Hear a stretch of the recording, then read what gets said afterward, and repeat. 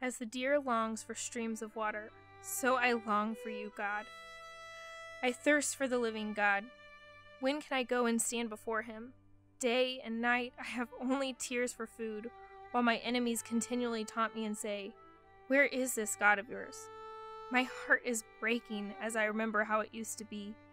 I walked among the crowds of worshippers, leading a great procession to the house of God, singing for joy, giving thanks amid the sound of a great celebration. Why am I so discouraged? Why is my heart so sad? I will put my hope in God. I will praise Him again, my Savior and my God. Now I am deeply discouraged, but I will remember you, even from the distance, even when you seem so far away. I hear the chaos of the raging seas as your waves and surging tides sweep over me.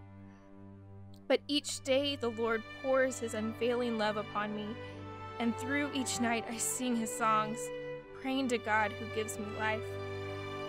My God, my rock, I cry, why have you forgotten me? Why must I wander around in grief, oppressed by my enemies? Their taunts break my bones. They scoff, Where is this God of yours? Why am I so discouraged? Why is my heart so sad? I will put my hope in God again. I will praise Him again, my Savior and my God.